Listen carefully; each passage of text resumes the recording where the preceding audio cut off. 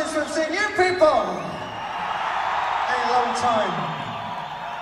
We're going to try and keep you informed throughout the evening about exactly how long it takes for uh, Mike Tyson to uh, take Mike Spinks' head off. Okay, all that stuff. I myself don't fancy losing any money on that one. This is a song off the new album for you.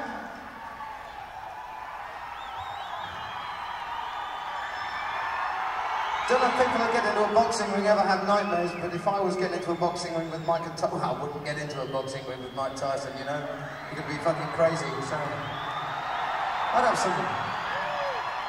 I'd certainly have some infinite dreams. What's the name of this song? Infinite Dreams, this one. Yeah!